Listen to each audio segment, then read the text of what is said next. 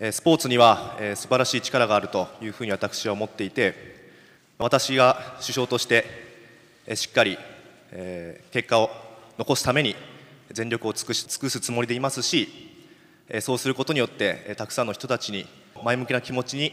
なってもらうように頑張っていきたいというふうに思って頑張りたいと思います。個人としての目標は 100m で金メダルを取ることと 4×100m リレーで金メダルを取ること。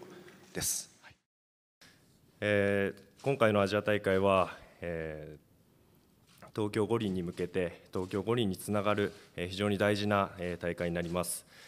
アジアの舞台で、えー、しっかり成績を残さなければいけないという私たちの、えー、使命があります。